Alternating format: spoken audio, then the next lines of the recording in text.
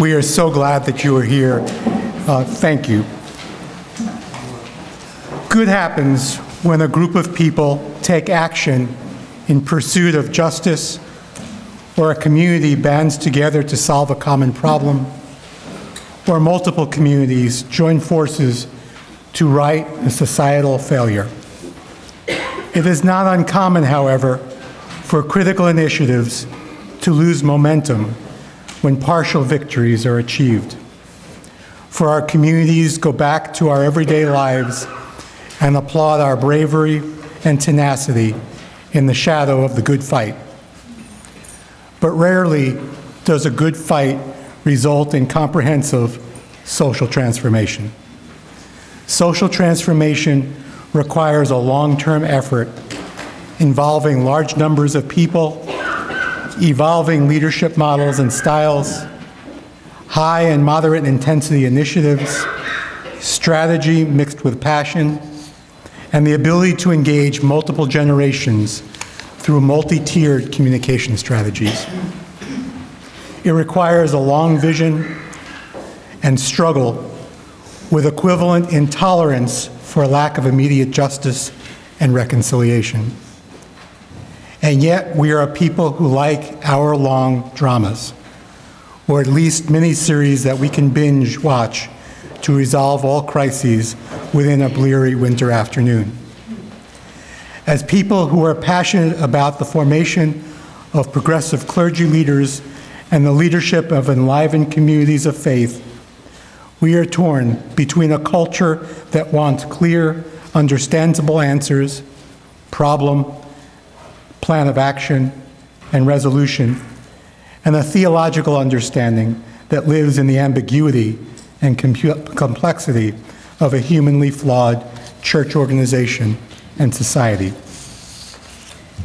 How is it that through so many years of feminist womanist struggle, women are still being raped, assaulted, demeaned, discounted, and paid less in most prominent of companies, institutions, and mission-driven organizations of our society.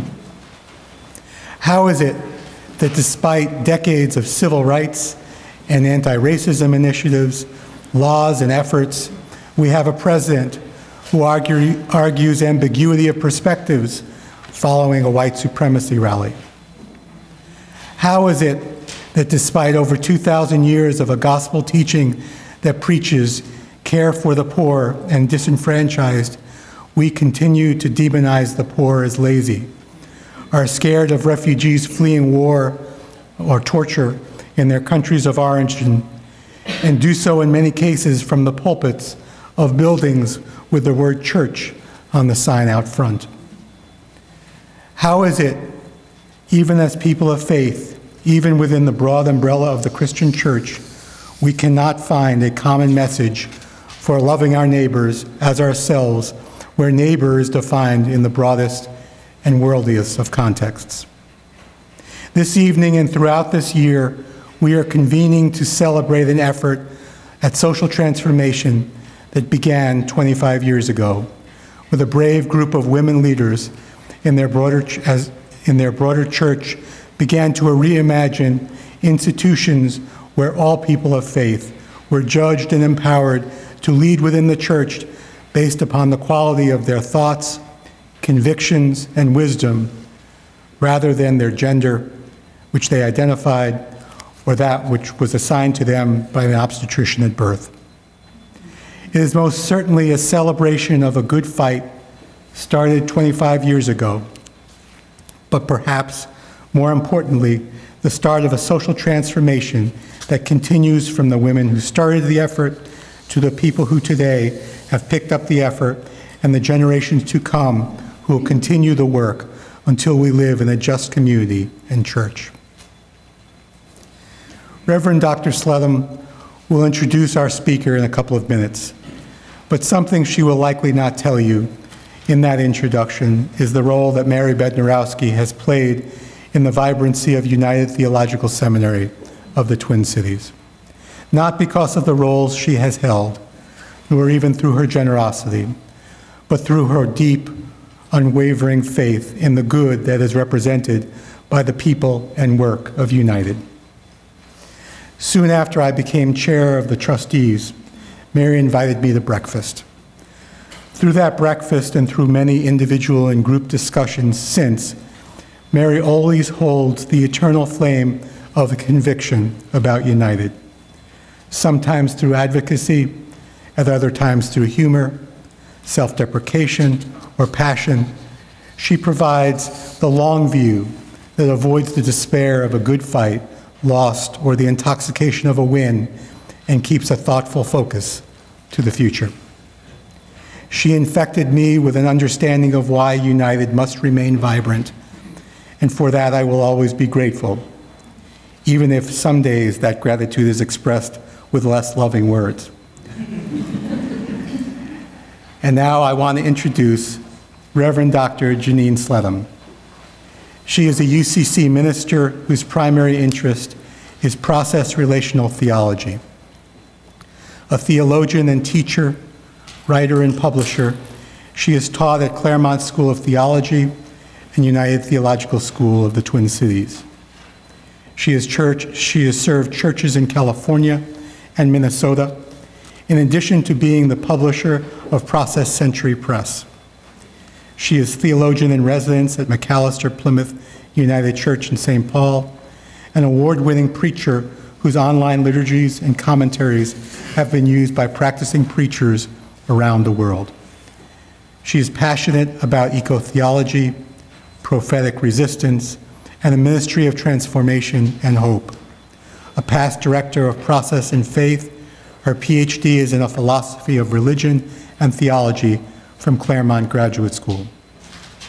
We are most privileged by the fact that she is currently teaching a directed study in historical theology at United. Please welcome Reverend Dr. Jeanyne Slettom.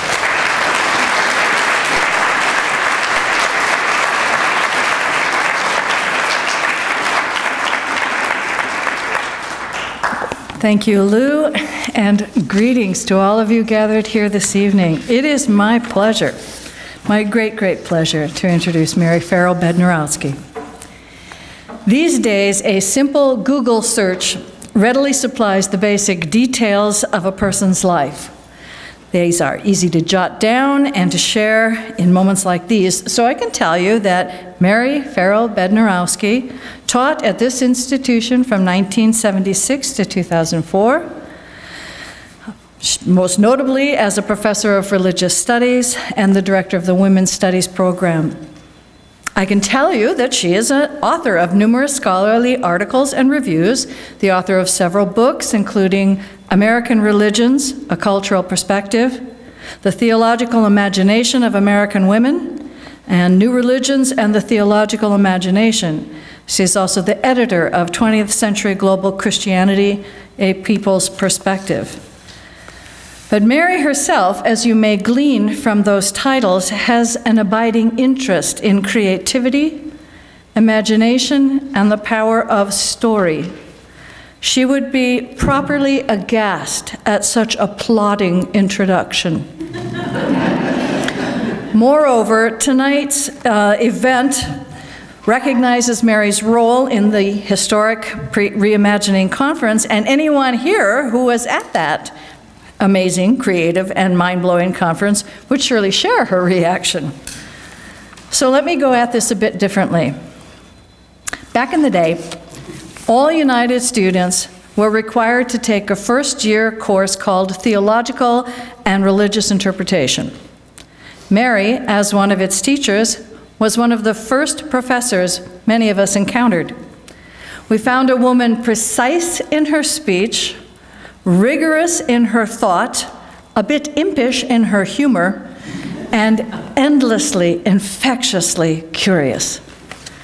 When the buzz went up back then about this conference, something about reimagining Christianity as if women mattered, about reimagining every aspect of the Christian tradition in order to give it new life and meaning, well, it was natural that she would be a part of it.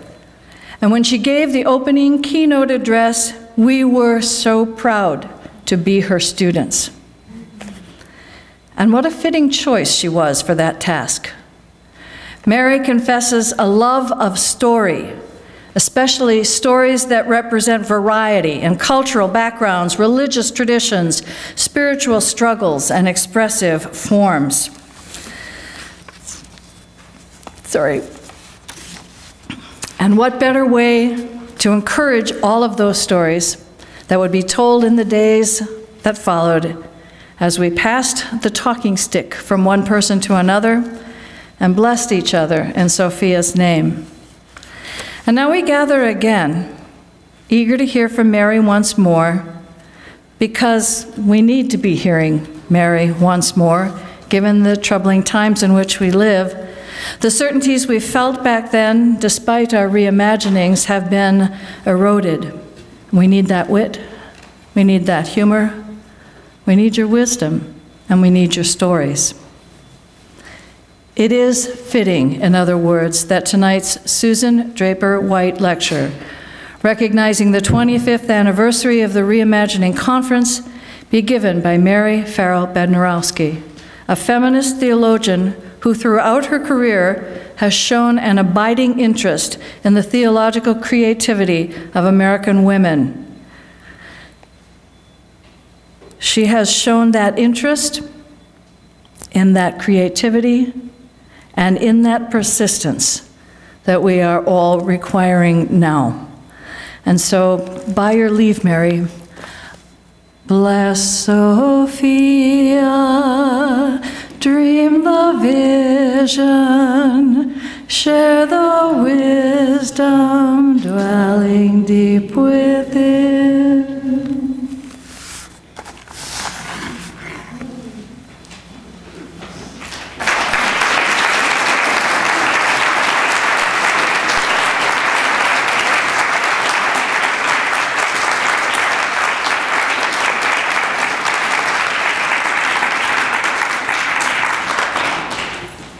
Gosh, you look lovely, all of you.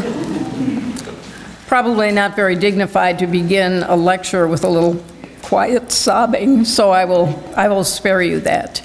But before, before I begin, I, I would like us to remember just for a second, for a second, forever and ever, Sally Hill.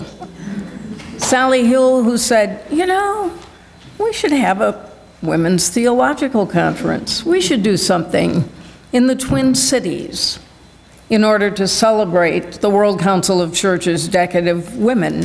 Why don't we have a little something? and we did. I miss her.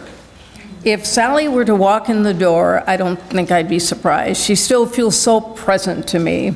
I think I would just say, Well, Sally, where have you been? We're glad you're here. So I think you're going to hear a bit of the same theme that you heard from Janine. Thank you for that lovely introduction. And from Lou.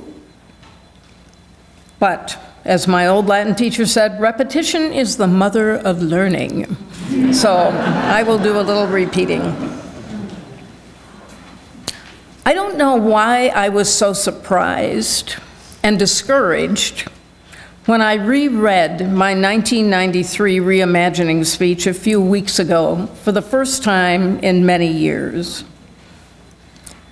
I really was overcome by the feeling that with a few changes for context, I could give the same speech tonight and feel that not much had changed.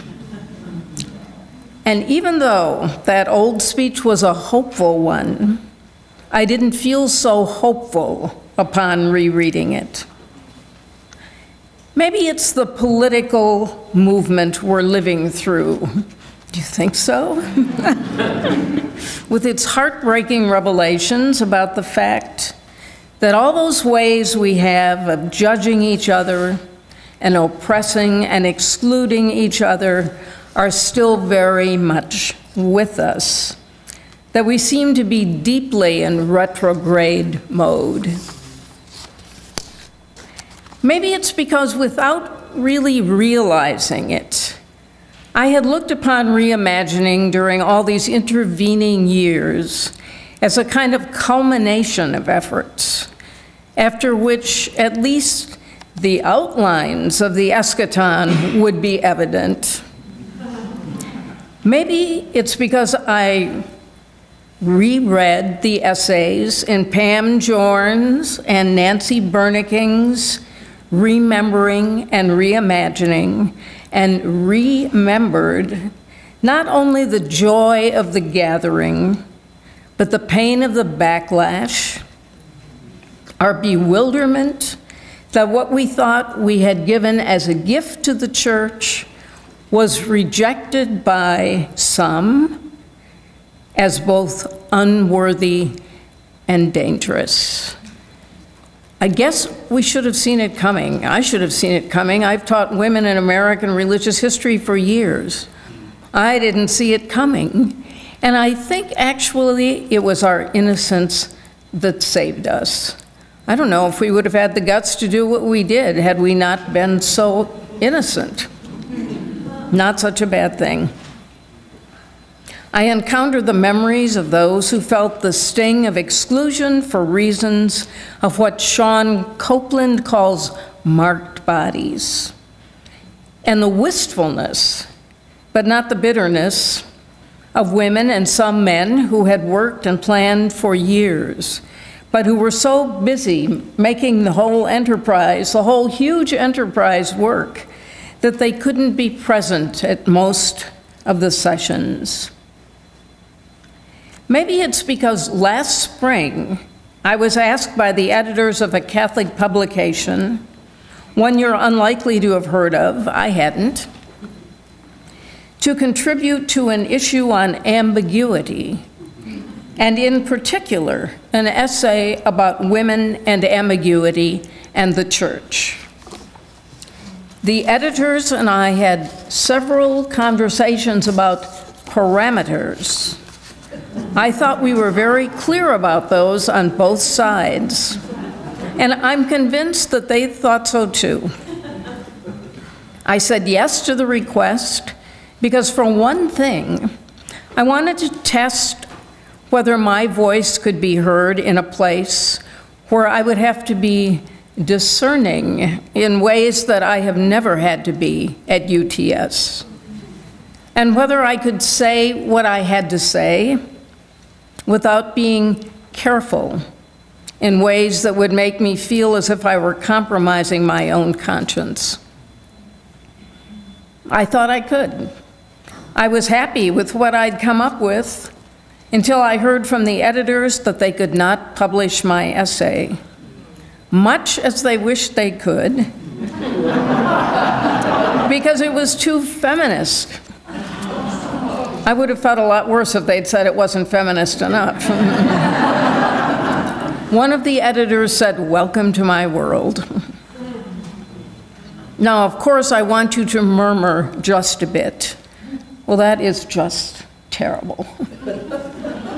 and I confess that I certainly was not happy about it. But I was surprised to discover that I, I wasn't angrier. I waited a little while to see if I might start feeling furious. But what I really felt, I guess, was rueful. I really had not set out to write an essay that the editors, for whom I actually have a lot of sympathy, felt they could not publish.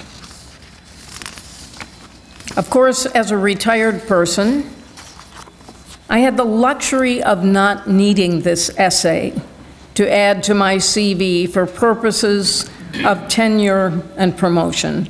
I do not underestimate that luxury. So I'm claiming no virtue here. And I learned something, again, not an experience I'm crazy about, I confess, something I knew in 1993, but that apparently one cannot learn too often that the work of reimagining goes on and on and on, that we need constantly to renew our vows, to resist and insist and persist. Those same vows I had declared that we must make in 1993. I'm pretty sure that Elizabeth Warren got her ideas about persisting from reimagining.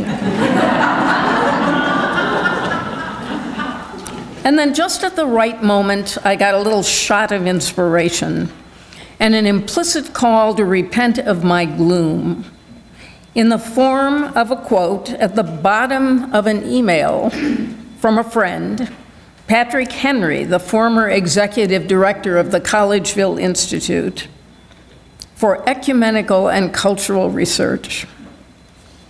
Patrick always includes what the Reader's Digest used to call quotable quotes at the end of his message. And this one came from Ophelia Dahl, the daughter of Roald Dahl, and Patricia Neal. The founder, she's the founder of Partners in Health. This was cited in an article about her in The New Yorker. Here's what she said I am unfailingly optimistic. I think to not be optimistic is just about the most privileged thing you can be. People like us don't like to hear that. To not be optimistic is about the most privileged thing you can be. I'm still quoting her. If you can be pessimistic, you are basically deciding that there's no hope for a whole group of people who can't afford to think that way. And I would pluralize that for whole groups of people, us who can't afford to think that way. You push, she said. You push, push, push. Now, it doesn't take much imagine, imagination here to leap to metaphors related to childbirth and midwifery with all of that pushing. but another analogy occurred to me as well while I was pondering these things. I overheard my husband giving advice to a friend who is headed there soon on how to cross streets in Vietnam. You really, some of you have had that experience. You really do just walk right into the traffic that swirls around you. And you keep going. If you stop, you'll get hit. The bikes and scooter riders and car drivers know how to maneuver around you if you just keep going. Accidents happen if you stop. So, with a pounding heart and a faith that feels completely irrational, you just keep going. There is unbelievable relief when you reach the other side. Alive. But then, of course, just ahead, there is another street to cross.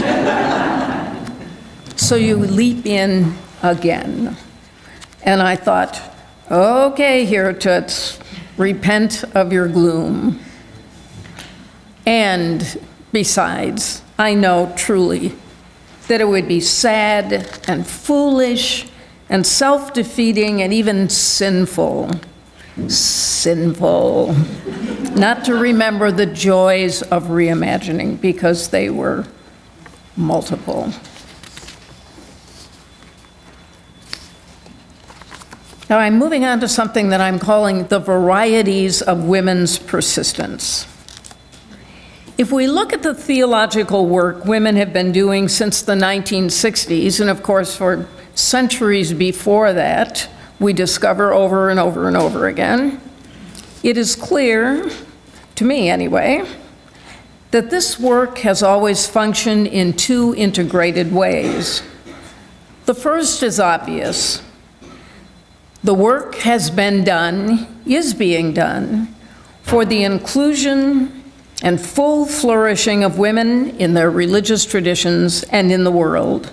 And not just women, but women in all the particularities of their distinctive communities.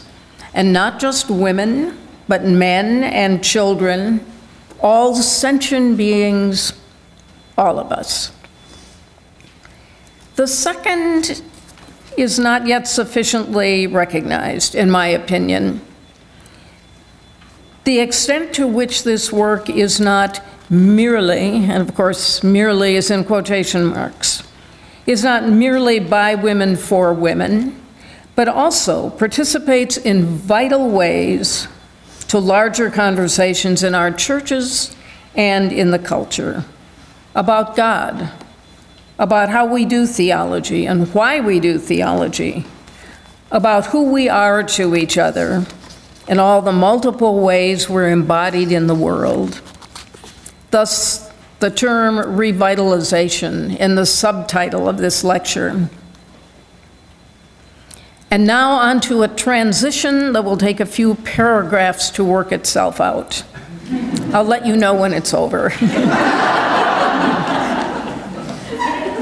and I'll give you some clues along the way if you don't mind stepping into the traffic with me and just keeping on going.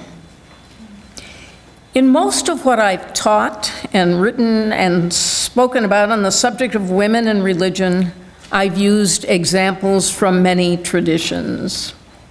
Jean is certainly right about that. Protestants of various kinds, Protestants of various kinds and races and ethnic groups, various communities of Roman Catholics, Jews, Buddhists, Muslims, Hindus, New Agers, goddess feminists, Christian scientists, theosophists, Mormons. That has been my modus operandi for most of my career. For the sake of inclusion, of course, but also to seek out all the ways that multiplicities break open the binaries of Western culture, to look for the more, to summon many different kinds of wisdom to bear upon the deepest theological questions. What do all these voices have to tell us about what on earth we're doing here? As individuals and communities in this universe filled with sacred presence that we call home.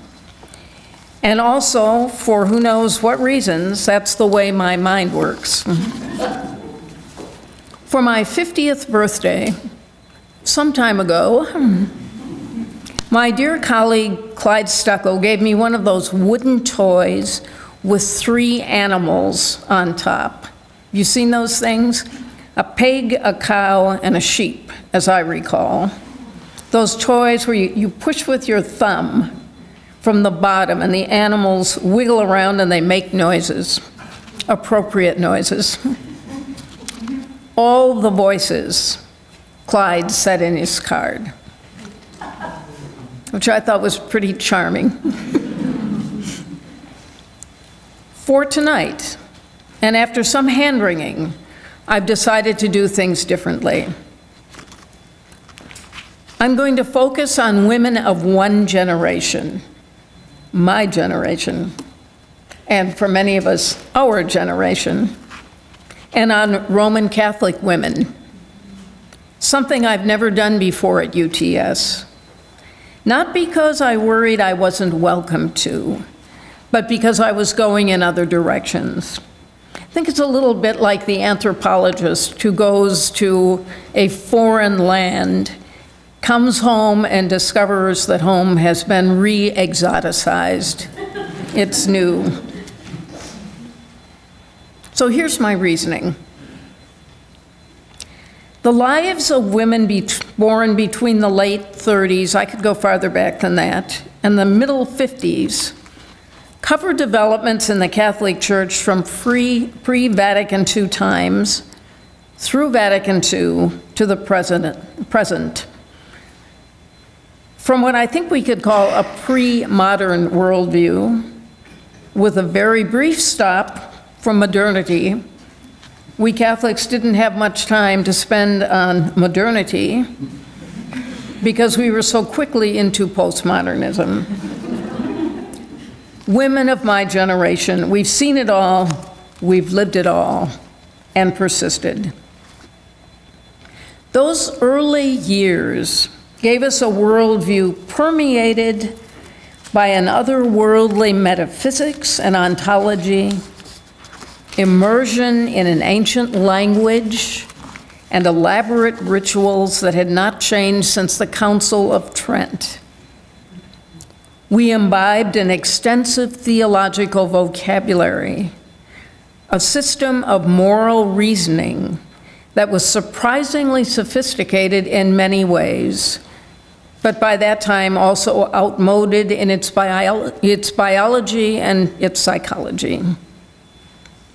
And then there was the exhilaration and confusion of Vatican II, followed by the unfolding and unending struggles about women's place in the church, struggles over ordination, but accompanied by ever increasing numbers of women in theological education and in non ordained ministries. That's a lot of raw material to work with. So by now, we have span of life materials to learn from this generation, from cradle to grave, and compelling possibilities for opening up some of the inevitable ironies, contradictions, paradoxes, and startling creativity in the work of women who are both insiders and outsiders in their tradition. Catholic women are not alone in this, of course.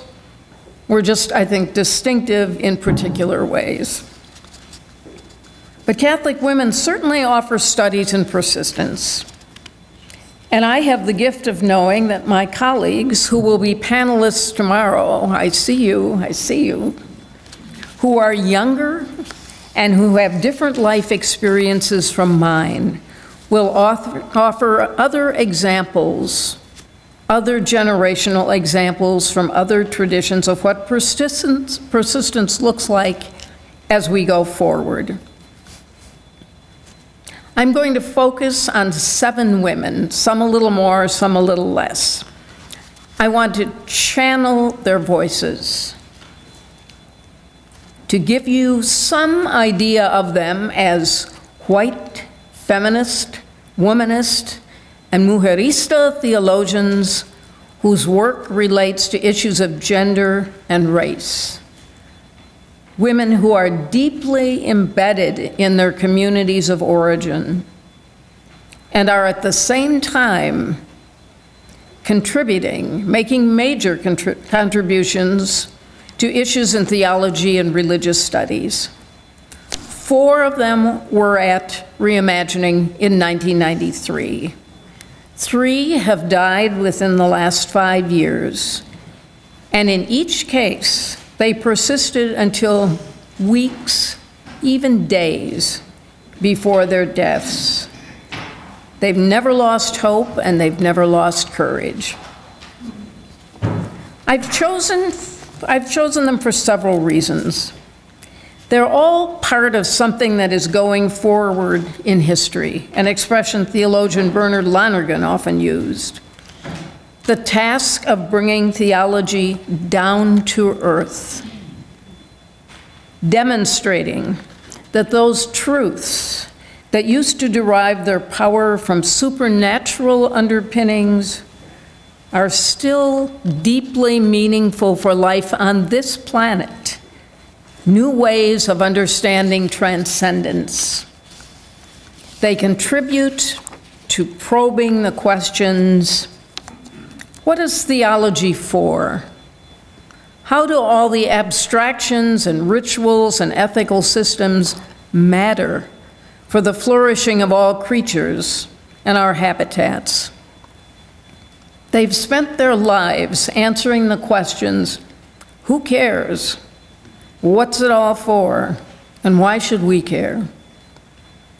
They have been powerfully faithful in demonstrating the depth and resilience and breadth at the heart of Catholicism. Elizabeth Johnson has been called reverent, and I think that's exactly the right adjective for her.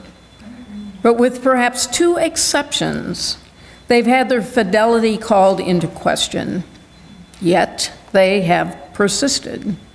They have continued to do theology in new ways for new times.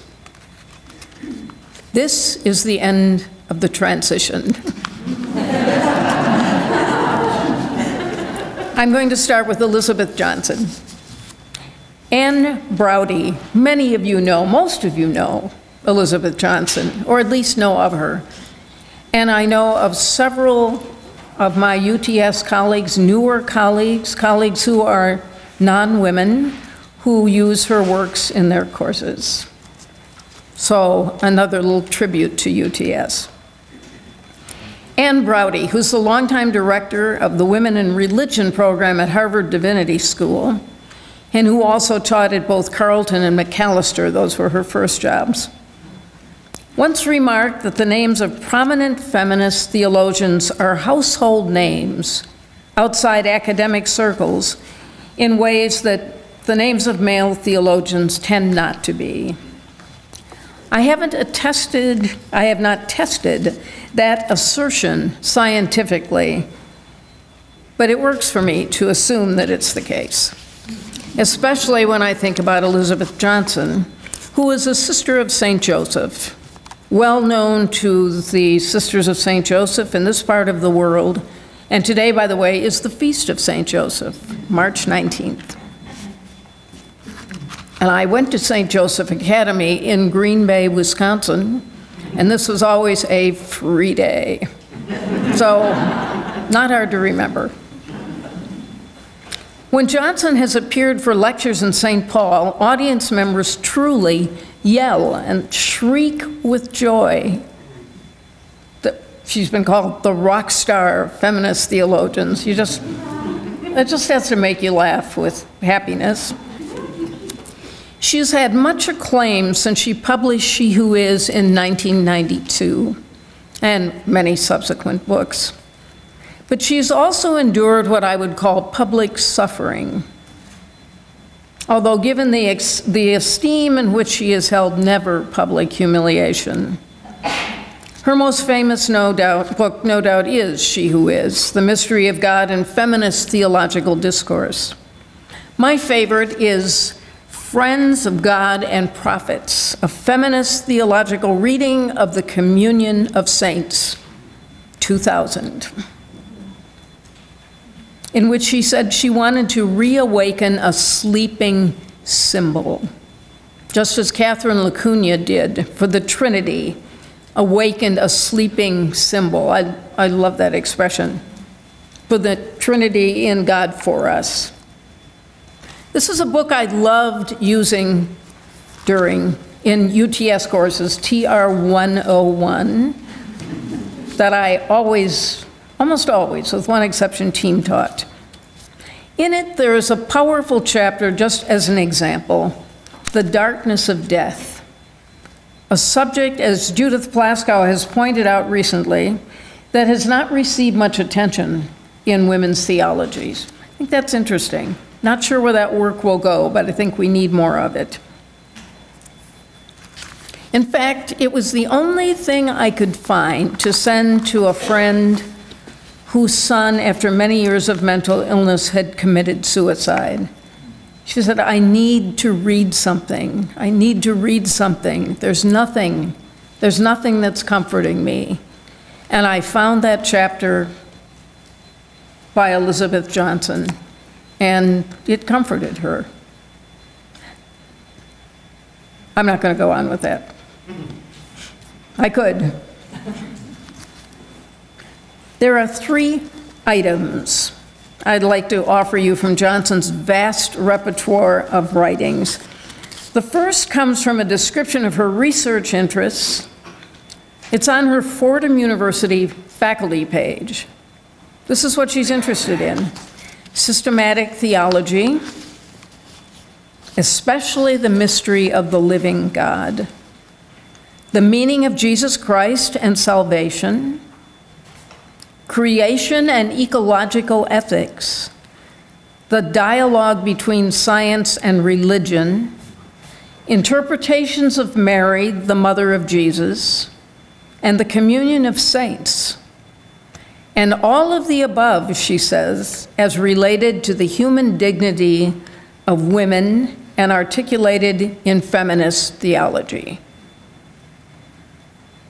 Those are pretty traditional subjects, and I love the way that she says they are underpinned by feminist theology. I think at UTS we'd call that integration. integration of feminism with subjects that could hardly be more traditional, but that abound with creativity in her treatment of them. Second, I have a few words from her 38 page response to the much publicized criticism of her book, Quest for the Living God Mapping the Frontiers in the Theology of God, published in 2007 and called into question by the Committee on Doctrine of the United States Conference of Catholic Bishops. This was a very public affair, New York Times worthy, and its outlines are well known to many among us. For tonight, I'm only going to quote a few lines that indicate the extent to which Johnson felt called to instruct the bishops. Ironies abound about the very nature of theology. That this book was indeed, and now I'm going to be quoting Johnson, a work of theology. It is not a catechism, not a compendium of doctrine, nor does it intend to set out the full range of church teaching on the doctrine of God. Rather, it presents areas of Christian life and study where the mystery of the living God is being glimpsed anew in contemporary situations. Hence the subtitle, she tells the bishops, hence the subtitle, Mapping Frontiers. Her response did not change the committee's mind, but it and she received powerful support from multiple communities of clergy and laity. In the understanding of many, the proliferation of this document and her grace and eloquence in response to the experience made Johnson a public intellectual, and I would say a public theological intellectual. And I think you're familiar with all the, the laments we have these days that there are no public theological intellectuals. I think Johnson is one. Third, Johnson has not stopped teaching and she has not stopped publishing. She continues her quest for how best to articulate her faith in the living God and for new ways to express the nature of the divine in new times. In Ask the Beasts, Darwin and the God of Love, published in 2014, Johnson sets up a dialogue between biblical faith and Darwin's origin of species. And it's not one of those, this is wrong and that is right kind of setups, claiming that if you ask the plants and animals their response will lead your heart and mind to the living God. You're beginning to catch that living God theme. I think that's what her life is about. So, what model of God, we wonder, will further this effect? How shall we speak, she asks, of the overflowing love of the creating, redeeming, recreating God of life in view of evolution. She's not giving up on God. How shall we act toward the natural world in a way coherent with this understanding? She's confident that, I'm quoting, God's creative activity brings into being a universe endowed. These are abstractions, they're probably hard for you to listen to. Hang in there endowed with the innate capacity to evolve by the operation of its own natural powers, making it a free partner in its own creation. I call that reimagining. As to her own free partnership, in the religious tradition of her birth, and her ongoing participation. When asked, as seems to be inevitable, why she stays, she has answered, if you feel deeply enough, you stay. Not because you're a masochist, but because it's worth it. You're struggling for the soul of something. And now, Ada Maria Isasi Diaz. Ada Maria Isasi Diaz was a native of Cuba and a nun and a missionary in Peru in her early adulthood. She was professor of ethics and theology at Drew University for many years before her retirement. She gave one of the presentations at the 1993 Reimagining Gathering, and she taught a summer school course at United in the 1990s. I don't remember exactly what year. Did anybody here take that course? She was a, oh my gosh, you did. She was a tough cookie, as I recall hearing on the grapevine. when she died in May 2012 of ovarian cancer, she was writing a book on justice as a reconciliation praxis of care and tenderness. Ah, justice as care and tenderness. That is lovely, I think. Her obituary headline in the New York Times read Ada Maria Isasi Diaz, dissident Catholic theologian, dies at 69. The dissidents had to do mostly, I think, with the work that she did for the Women's Ordination Conference earlier in her career. But I remember thinking that she wasn't a dissident at all. The work she did, she did from the depths of her Catholic identity. One time, in response to something she'd written, I said, Oh, Ada, you're just so very Catholic. Not long ago, I found a note from her in an old folder Thank you, Mary, for saying that. I try so hard. Just. Mm-hmm. Ada Maria is best known as one of the founders and leaders of Mujerista theology that identifies and encourages and helps to develop the theological voices of Latina women that emerge from what she calls lo cotidiano, the dailiness of their lives and their experiences of church.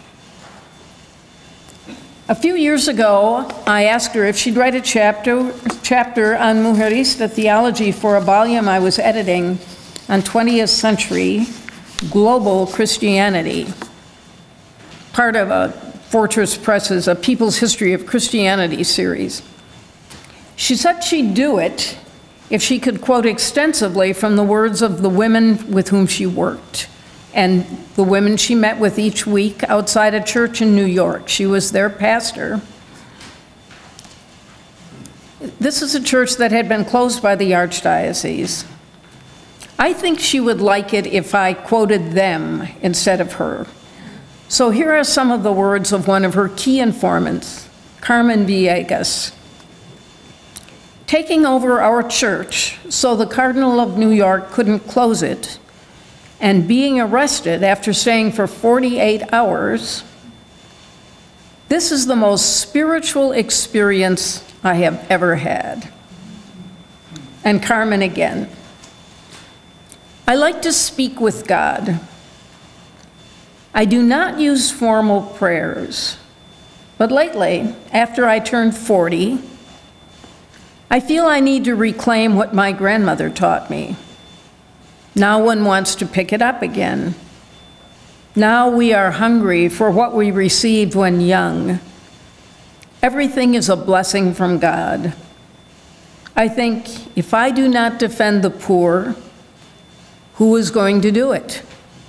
And I get up and I speak, and I feel very strong. Villegas' voice, I think, gives us a powerful example of what Peter Phan has called the magisterium of the poor. And I would add to that the magisterium of women. Magisterium, teaching office is such a majestic word. I think it's a good idea to spread the majesty around. And that is what these women are doing, teaching from their lives.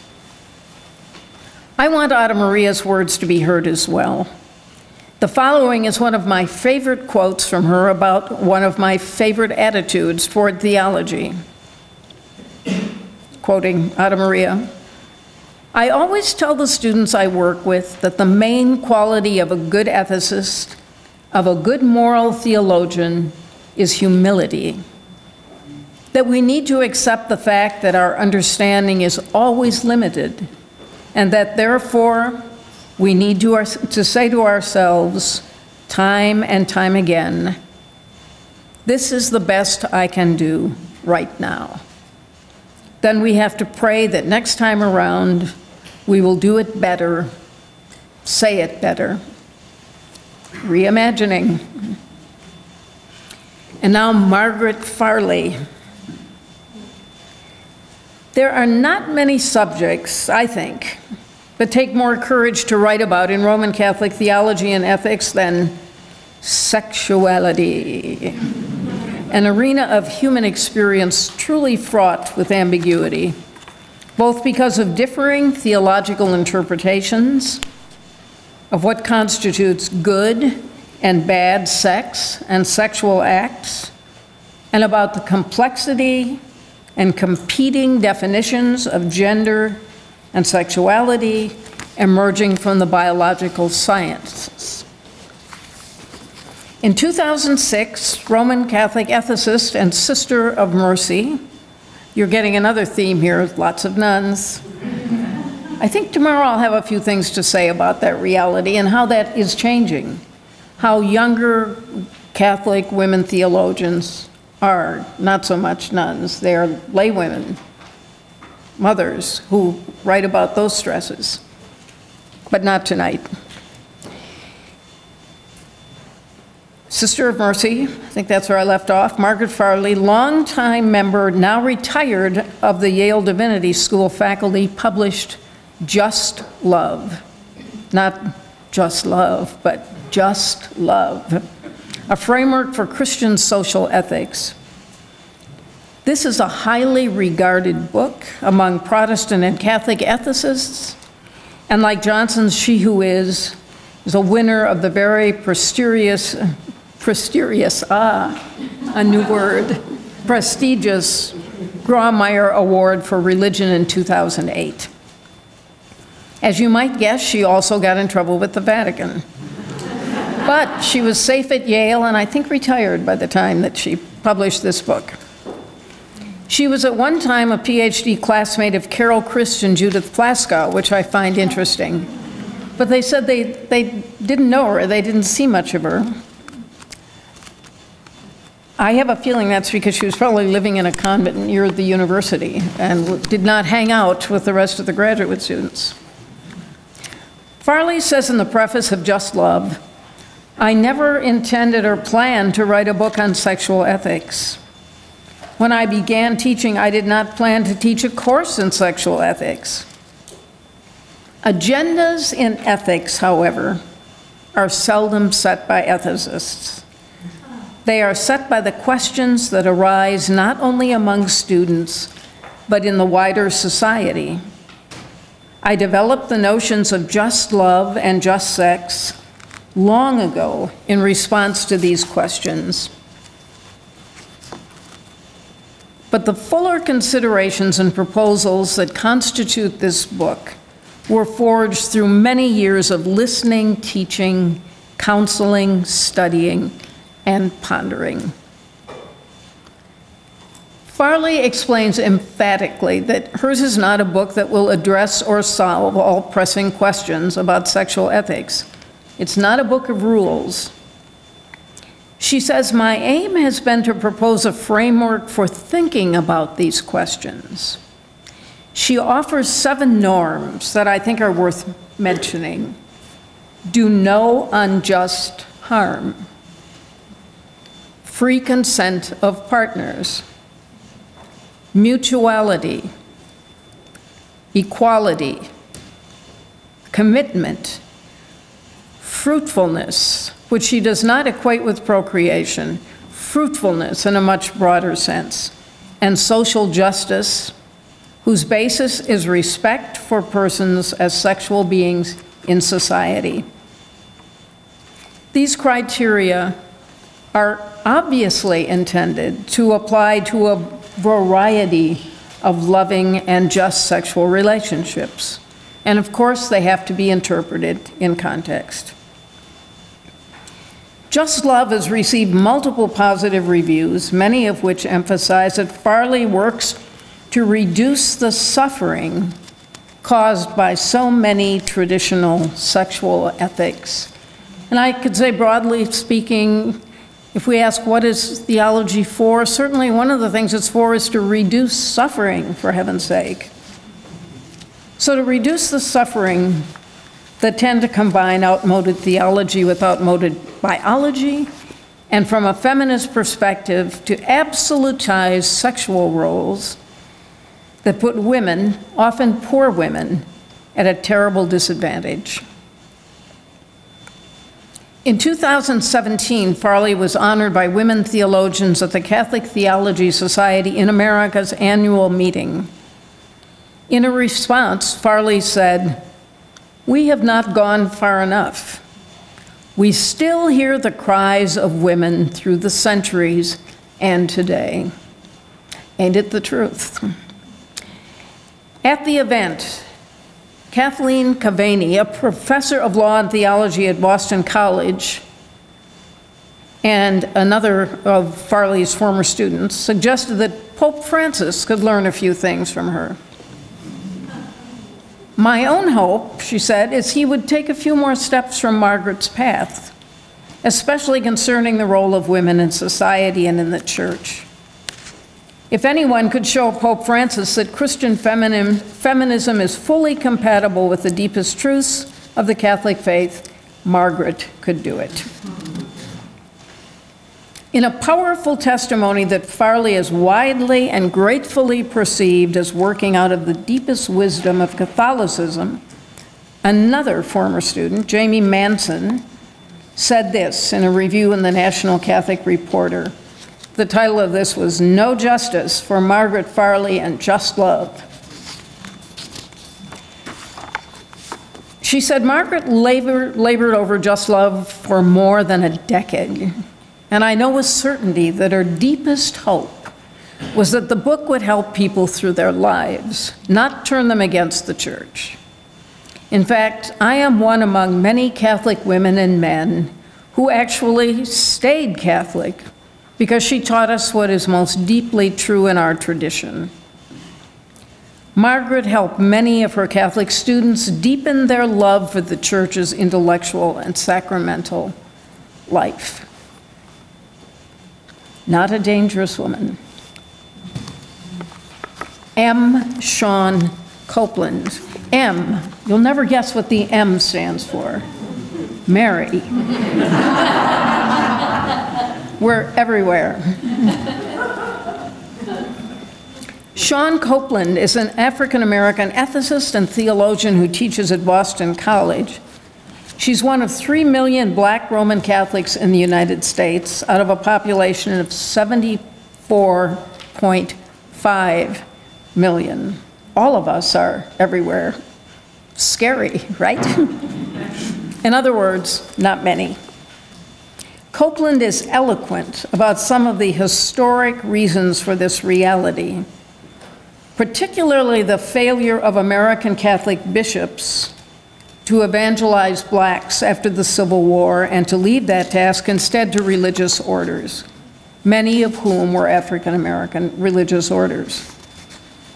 She suggested in an interview that, in fact, Obama might have become a Catholic his community organizing office in Chicago was in the basement of a Catholic church or school. If there'd been more black Catholics to show him the way. She was a Dominican nun for 25 years. She has left the order. And the first African American theologian to be president of the Catholic Theological Society of America. She's the editor of Uncommon Faithfulness, The Black Catholic Experience, and the author, among other books, of Enfleshing Freedom Body, Race, and Being. One of the major areas of inquiry in Copeland's work is theological anthropology. What does it mean to be human?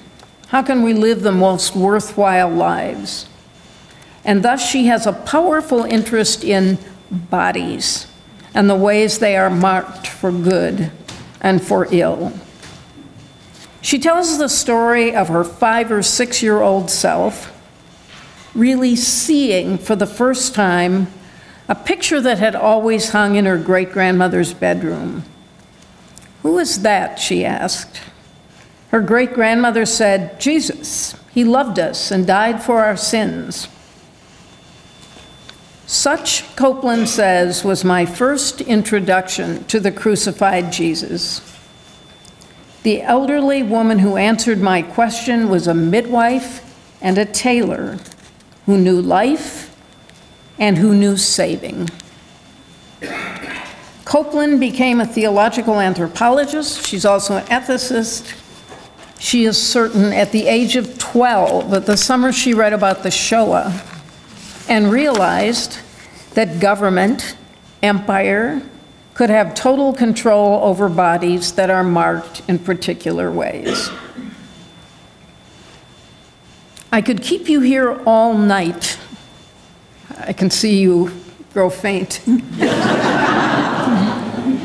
I could keep you here all night with lists of her accomplishments and evidence of her eminence as a womanist theologian.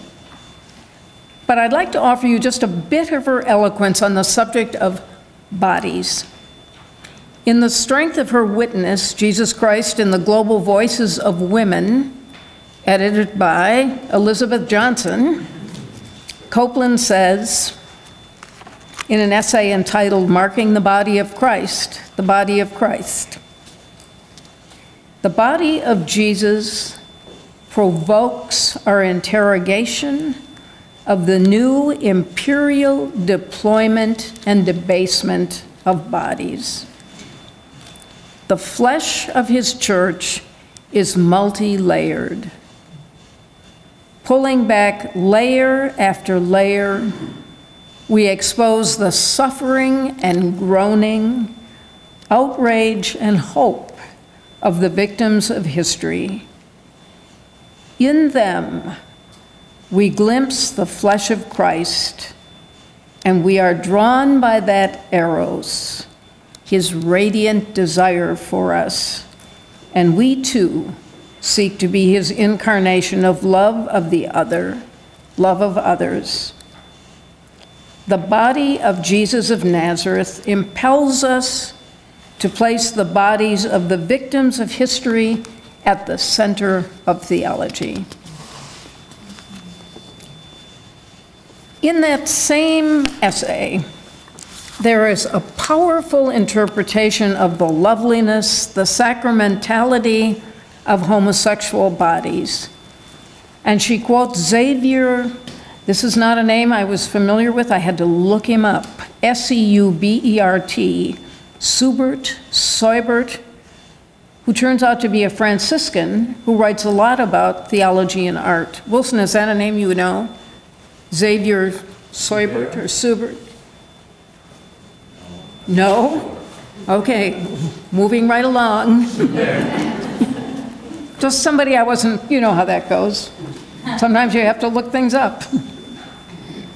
But she's, she's quoting him on the church's admonitions regarding sexual abstinence to prescribe in advance abstinence and celibacy for the homosexual person simply because the person is homosexual is to say that homosexual bodily existence stands outside the sacramental transformation to which all creation is called in Christ.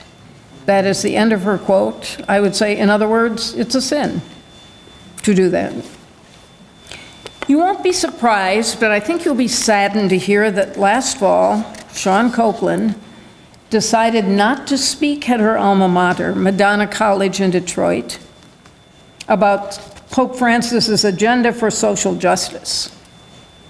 A very conservative group, the Church Militant, took her words out of context about homosexuality, accused her of supporting homosexuality and leading impressionable young Catholics into sin. Copeland was not uninvited, as some newspaper articles suggested. This was big news also. She and the college president came to a mutual agreement to cancel the event. Copeland said that this group was not interested in dialogue and the situation would only get uglier. Out of respect for the Felician Sisters and Madonna University, she was not going to put us through that. This is not the church that Jesus founded, said the sister who had invited her. Two months later, Copeland received the very big deal Marianist Award at the University of Dayton that honors the contributions of Catholic intellectuals. Life is mixed. When an interviewer for a U.S. Catholic magazine asked Copeland a few years ago what her Catholic faith meant to her, she was clear. I can't imagine myself any other way. I can't imagine not being Catholic. And I don't want to imagine it. It's part of who I am. I know our church is not perfect. It's deeply flawed in some ways. But there is something about it that I'm not willing to let go of. And I love this. I demand that it hold me. There's something very appealing, I think, about demanding that an institution hold us. That same militance, it's not only traditionalists who can be militant, can be seen in Catholic theologians like Mary E. Hunt, the founder with her partner Diann Neu of Water, a woman's alliance for theology, ethics, and ritual in Silver Spring, Maryland. They describe that enterprise as an international community of justice seeking people who promote the use of feminist values to make religious and social change. They invite partners who will continue making waves in feminism, religions, and societies, and they do. Mary also gave a presentation at the Reimagining Conference in 1993. She's a frequent writer of columns for Catholic publications, and she is funny and feisty and definitely persistent. In the fall 2017 issue of the Journal of Feminist Studies in Religion, a journal that one simply cannot live without, it really is pretty interesting. In response, this is, goodness, one of those long sentences that one doesn't see ahead of time. In a response to Carol Christ and Judith Plaskow's collaborative theological and intellectual autobiography called, now this is Mary Hunt's essay that's called this, Cosmic Catholicism in Embodied Conversation. Here's what she says. Despite the Roman Catholic Church's infamous erroneous dicta about women, same sex love, and other common matters, my earliest formation in that tradition and my current practice as a cosmic Catholic are informed by a limitless flow of energy or spirit that seems to be abroad in the world. Like Carol and Judith, I do not stake claims on transcendence Afterlife is anybody's good guess. But I acknowledge the power of this spirit or force as shaping and being shaped in history. Naming it is quite another matter. That everything is connected may be a cheap truism, but try proving it wrong. All those years ago in 1993, I remember saying in my presentation that we are responsible for our traditions and their theologies. We are not at the mercy of them. I persist in knowing that this much is true, and I am obviously not alone in my conviction. I'm going to speak just a little bit about two other women, and then there will be a conclusion. Ah, happy word, right? I always, at concerts, like the St. Paul Chamber Orchestra, I always check to see how long each, uh, each piece of music is going to be, you know, just to be ready. or resigned, or whatever the case may be. Margaret O'Gara and Anne Patrick. I would like to almost conclude with a tribute to two other Catholic women who persisted to the very ends of their lives, those ends that occurred way, way too soon. Margaret O'Gara, a world renowned ecumenical theologian, was a professor of theology, a feminist. She did not expend her energy on ordination. She thought it was not coming soon. She had other work to do. She believed in it fervently. She was an ecumenical theologian, professor of theology at the University of St. Michael's College, Toronto, and she spent many summers at the Collegeville Institute on the campus of St. John's University, leading consultations and teaching. She was a member of numberless ecumenical dialogues, was, like Shawn Copeland, the president of the Catholic Theological Society of America, and of the North American Academy of Ecumenists, and theological advisor to the Catholic bishops of Canada. She went with them to a conference in Rome and helped them with their theology. She wrote a wonderful book, The Ecumenical Gift Exchange. You can guess from the title her approach to ecumenical dialogue. In an echo of the women I focused on this evening, and a reality that may well be true for many of you as well, Margaret wrote in a book of her essays published posthumously, No Turning Back, The Future of Ecumenism, all about, about all the different and moving ways she learned to pray with her ecumenical partners. And yet, she says, we never forget to pray in our mother tongue, which is for me the prayer styles and beautiful rhythms of my own Catholic liturgical tradition. No, it is not that we forget our mother tongue, but with Charles Wesley, we can sing within ourselves, Oh, for a thousand tongues to sing my Redeemer's praises. And we can rejoice in the many tongues used by Christians all around us. I don't think Margaret would mind my amending that to include traditions other than Christianity as well. And sometimes, Margaret points out, we depend on others to help us speak our mother tongues. In that same book of essays, published after her death, this one, No Turning Back, Margaret tells the story of a late night session at a bilateral dialogue. It was after midnight, the topic was complex and important. Her group needed to offer a statement the next day, and she was so tired, she just could not find the words to articulate what she needed to say.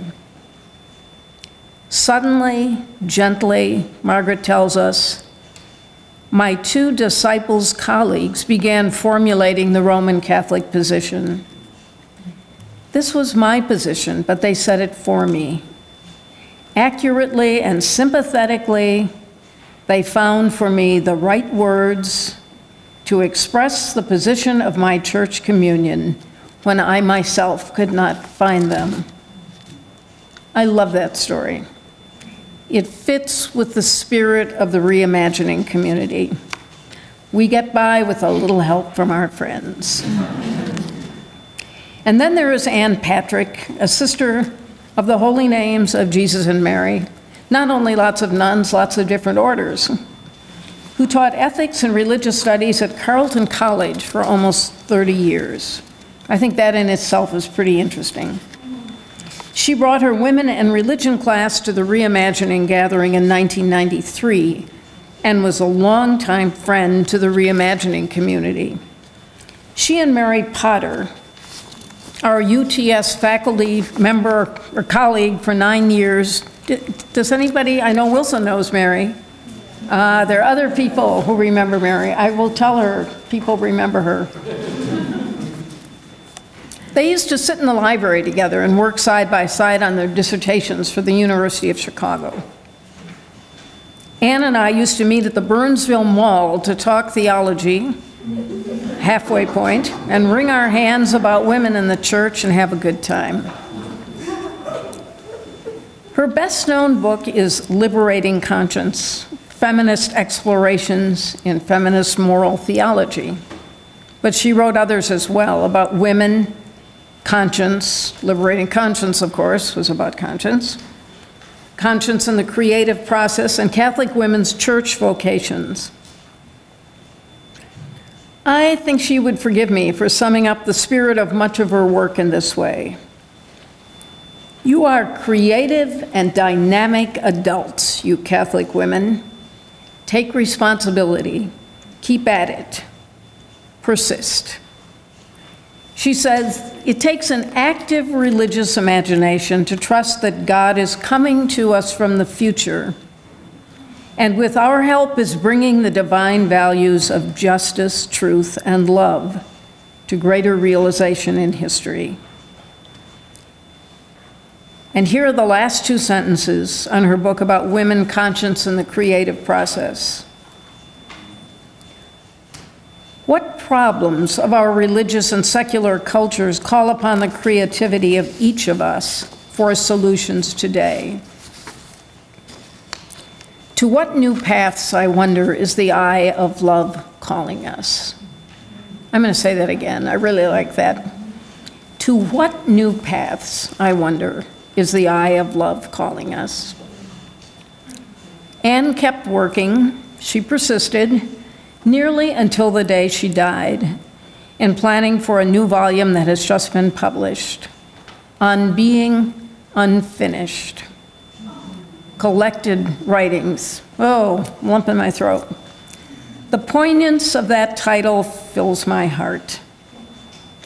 On the cover is a painting of two Navajo women working on an unfinished weaving that Anne had in her office at Carleton for many years. I bet she thought of it as a holy picture. Women of my generation traded holy pictures, like little boys trade baseball cards. We traded holy pictures. I started reading the book yesterday. Among other jewels is one of the most sophisticated essays on abortion that I have ever read. And it made me feel as if I were talking to Anne again. Conclusion Persistence is predicated on the assumption that there is always more. More to be hoped for and fought for, more in the inexhaustible depths of living water in the wells of our traditions, more breadth and depth and resilience and vitality to be discovered, more paths to which the eyes of love are calling us. In this lecture, I've emphasized the work of academic theologians who began their work in the early years of their lives, often without even knowing yet that it was theology they were drawn to as their particular arenas of, arenas of creativity. But of course, it's not only academic theologians who resist and insist and persist. So I am going to conclude, for sure this time, with a long list that I, scary, long list, that I liberated from Mary Ann Hinsdale, yet another Catholic woman theologian who teaches at Boston College. Here's what she wanted to remind us of in her 2004 Madeleva lecture. Do you know Sister Madeleva Wolff, St. Mary's of Notre Dame, started the first PhD program for women in the country. Women couldn't get PhDs in theology before this. Mary Daly got her first PhD from this enterprise. Here's what she says. I need to say that a truly thoroughgoing treatment of the topic women shaping theology ought to include the many organic intellectuals, or local theologians who lead grassroots theological reflection in Christian based communities, who give spiritual direction and staff renewal centers, who engage in contemplative prayer at monastic communities, who run homeless shelters, parish discussion groups, and liturgy committees, who organize church reform movements and community development initi- initiatives, who produce the music, art, and architecture that enhance our worship, who serve as religious educators, campus ministers, prison and hospital chaplains, missionaries, catechists, and school teachers, and those who have given their lives as witnesses for justice and peace. And I would say for all those generations of women who make funeral lunches, they are faithful. For all these women, too, have contributed much to the shaping of theology. We know these women. We have been these women. We are these women. Reimaginers all. We sing in our mother tongues, we teach each other new songs, we hold hands, and we head out together right into the traffic. Forever and ever. Amen. Thank you.